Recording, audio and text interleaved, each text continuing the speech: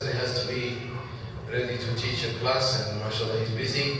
I have a few minutes inshallah uh, to be fair to the lecture of uh, Sheikh Omar Subedar. You had uh, some questions. We'll take a few questions and then we have some announcements. Uh, we're also very honored to have the organizer of the first Halal Expo in Canada, which will happen in October, inshallah. He's here, he's going to tell us and give us good news. So I want you to feel good about what's happening. And we are involved, myself and Sheikh Omar, in this effort, inshallah. He will tell us a little bit. But let's take some questions for uh, next few minutes uh, for the for Sheikh Omar, inshallah. Please, anybody? Yes. Uh, Dr. Walidi, go ahead. Uh, uncle, uncle, give us a chance. Him and I'm coming to you. Thank you.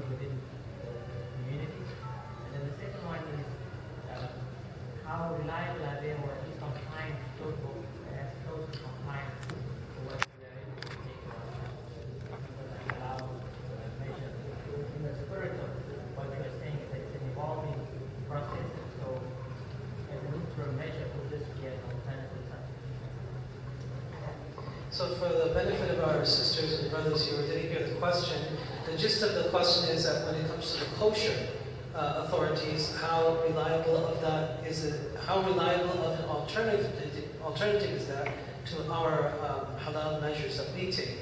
Um, the first thing I want uh, all of us to understand that when it comes to the meat industry, kosher is a dying business right now. Be very clear about that. There's a one myth that kosher is protected by the government. That's a myth. Okay, there's no regulation protecting kosher. The only thing that's protecting kosher labeling is the same thing that's protecting halal labeling, which came out in 2016 by the CFI. But we have to understand that these myths that kosher is protected by the government, it's exactly what I said. It's a myth. And in the meat industry, it's a dying business. More and more abattoirs are walking away from kosher rather than embracing kosher because of the arduous process behind it and all of the different technicalities and also when it comes to the consumption of that meat, it's not the same as it is halal uh, in terms of the numbers. Now when it comes to things, CPGs, consumer packaged goods, okay, that's going to be the stuff that you get off your shelves such as your potato chips and chocolates and whatnot.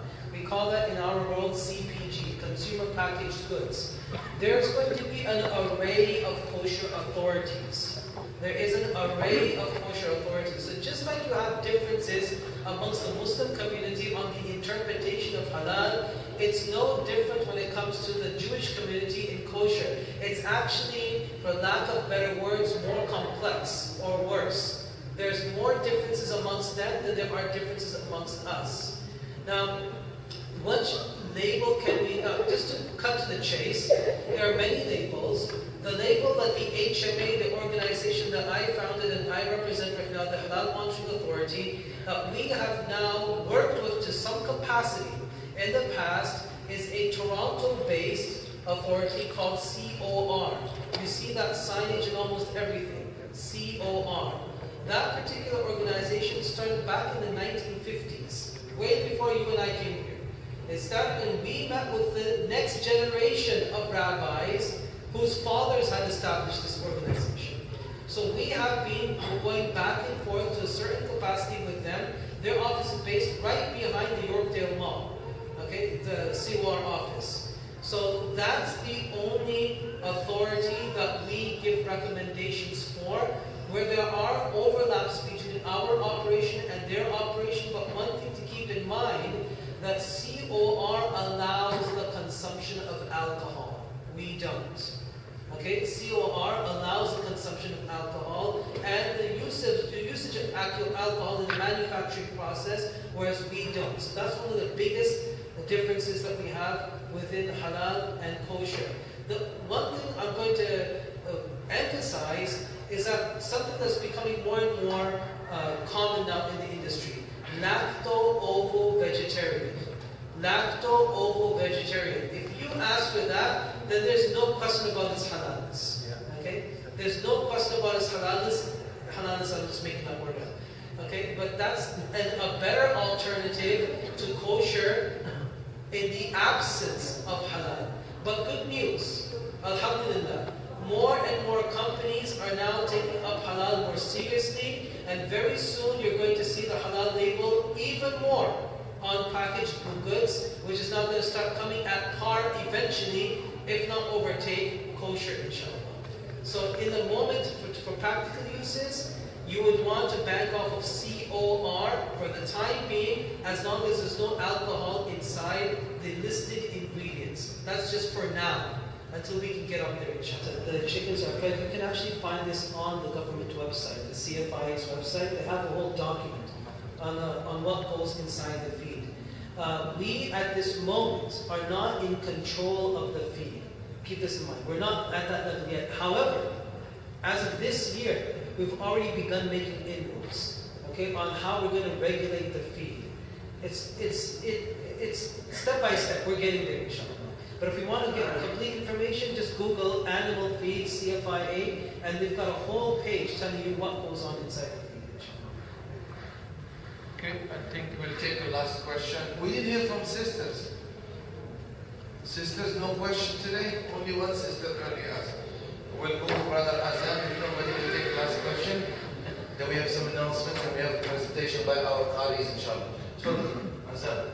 Yeah, we have so many restaurants in the, in the GTA, and they're uh, been giving, you know, certification, you know, like the Chinese restaurants, Thai restaurants, and all those people, you know, and yet they are serving uh, the liquor inside it.